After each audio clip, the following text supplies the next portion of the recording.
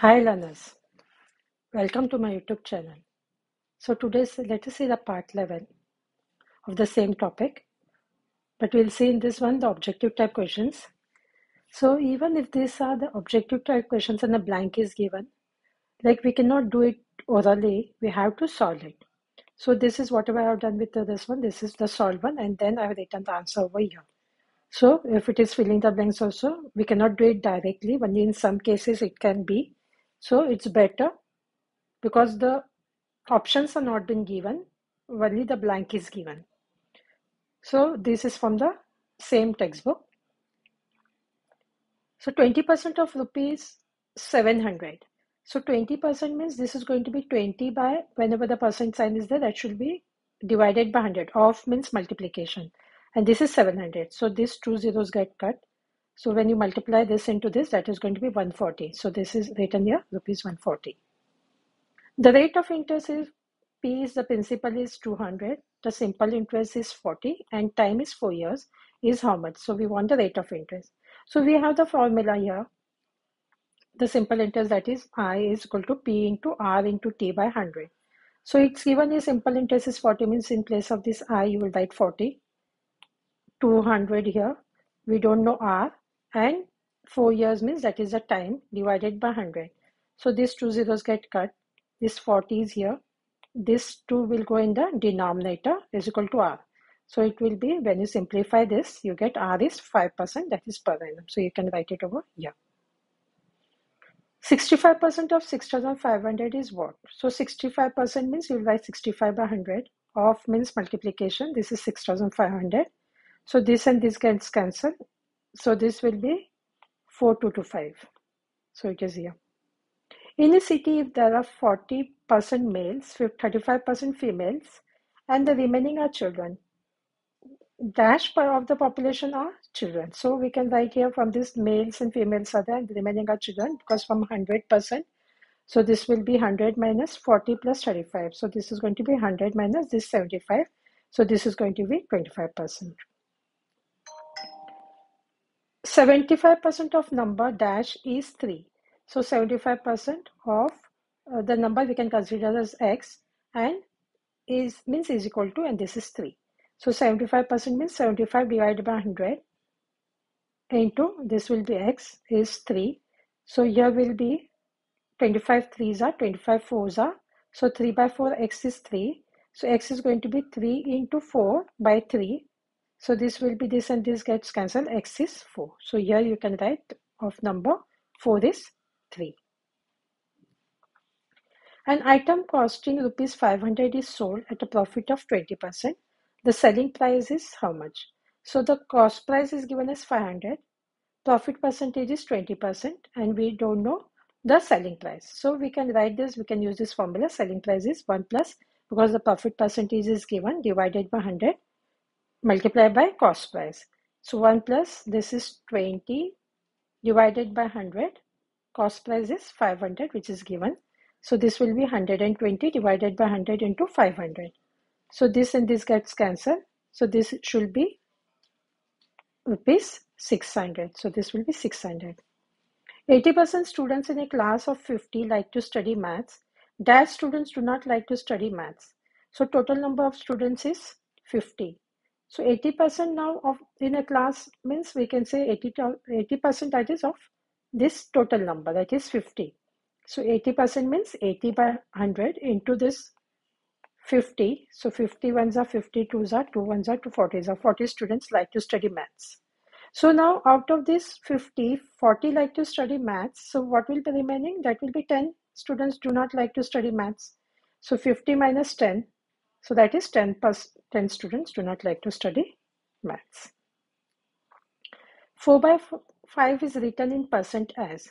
So whenever there is, you have to write in percentage means that should be multiplied by 100. So 4 by 5 into 100. So this will be 20, this will be 80, 80%.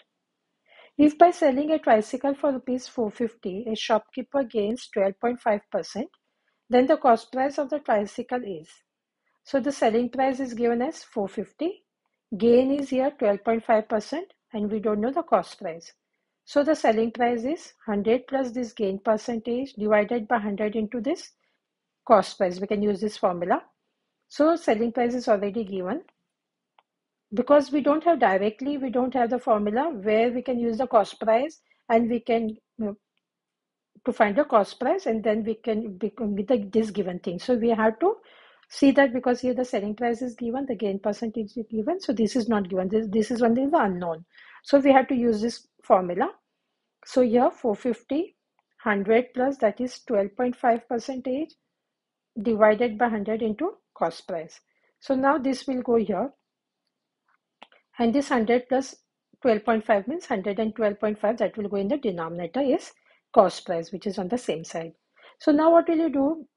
If we are using the cal calculator, we can do it directly. If you are not using the calculator, so this numerator we can write as it is without a calculator. I'll show you this one 112.5, 112.5. So this is after one number. So we will write here 112, 1125 divided by 1. We will put here 1 0. So this is for this one. So now what will you do? This will get flip over. This is the denominator. This is the numerator stays as it is. So 10 divided by 1125 that is cost price. So when you multiply this into this into this, so this will be that and this will be 1125 that is cost price. So when you divide this one, so that is going to be 400 which is the cost price.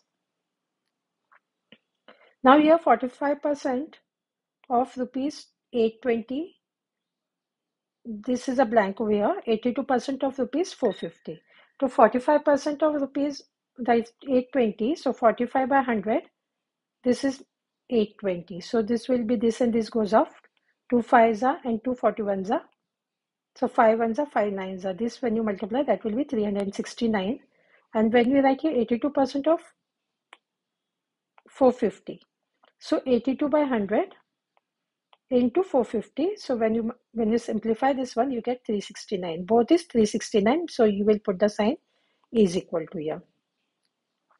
90% of dash is 27. So 90% of dash we don't know. We can put x is means is equal to 27. So this will be 90 by 100 of means multiplication x is 27. So this and this gets cut 9 by 10 into x is 27. So x will be this will go here 27 into 10 divided by 9 so 9 ones are 9 threes are so x is 30 if cost price is rupees 5000 selling price is 7500 and we want a profit percentage is how much so here the cost price is given and the selling price is given so from this one first what we can do we can find out because we can find out the profit percentage is given means definitely there is a profit so we can find out the profit because the two things are given. So the formula for profit is selling price minus cost price. That is 7,500 minus 5,000. That would be 2,500. So now we can go for the, they want a profit percentage. So profit percentage is profit divided by CP into 100. So we know the profit now. And now uh, again we know the cost price also. So this works. So this will be 2500 which is the profit given. We got the profit here so the cost price is given as 5000 into 100. So this and this gets cut. These two get cut. So 5 ones are 5 twos are or we can also write here 5 5 5 to 15 this one 5 5 are 25 anyways we can do this will be 50 so profit percentage is 50 if p is equal to rupees uh, 3500 r is 10 percent per annum and t is 3 years then what is the amount so amount is equal to the formula is principal plus interest. So here we know the principal, but we don't know the interest. So these both things, if it's not known, we cannot find out. First thing we have to do here, we know principal. So we will find out, try to find out interest.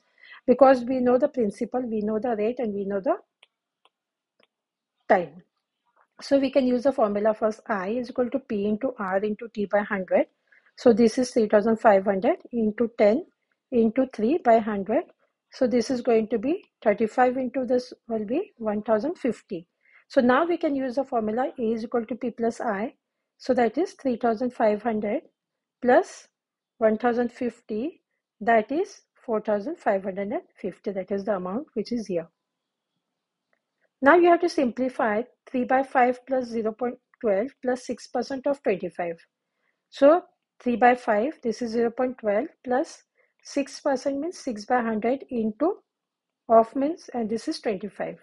So 3 by 5 plus 0 0.12 plus what it can do 25 ones are 25 fours are that will be 6 by 4. So now when you see here this our both the side there is plus so we'll take the LCM of this so it should be 20. So this should be multiplied by 4 this also should be multiplied by 20 because 1 into 20 and this should be multiplied by 5. So this is what I have done. So since this is multiplied by 4, this also should be multiplied by 4, 20, 20, 5 and 5. So what will you get here? 12 plus when you multiply this, you will get 2.40 and this is 30. So this should be and divided by this 20 because this is the LCM.